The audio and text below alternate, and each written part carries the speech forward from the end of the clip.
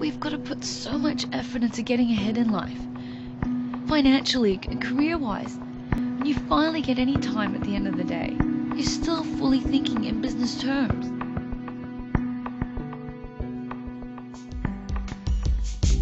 Have a nice three days in paradise. Thanks, Sue. Bye.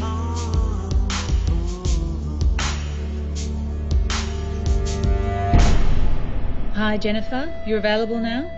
Am I out of a job? They pushed my start date back.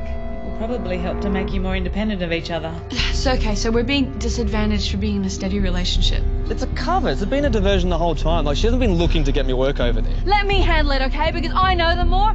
I'm just not sure what you're expecting. Ash! We have taken a big gamble on you.